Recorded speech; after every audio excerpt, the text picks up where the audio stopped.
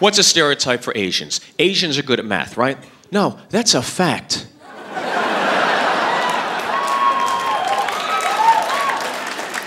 Asians are incredible at math. Why are Asians good at math? Got nothing to do with math. Got everything to do with linguistics, language, okay?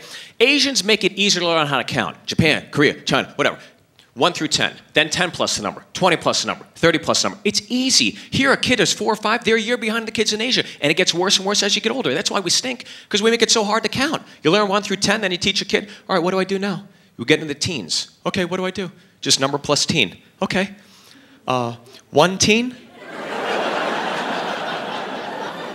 Wow, no, not even close. That's 11. Oh, okay. Two teen? Jeez.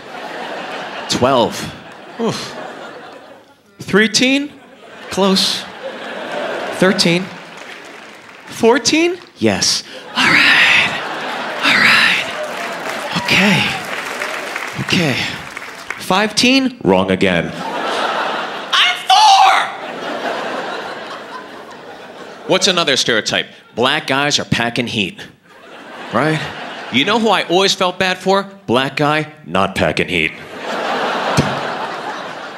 You better be a good singer.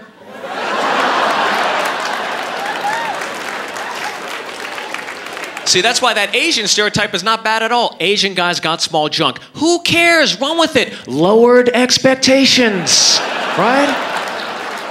That's a win win. Girl puts her hands down and pays an Asian guy. Ooh, this kind of small. Well, you knew the score. Now, do you want help with your SATs or not?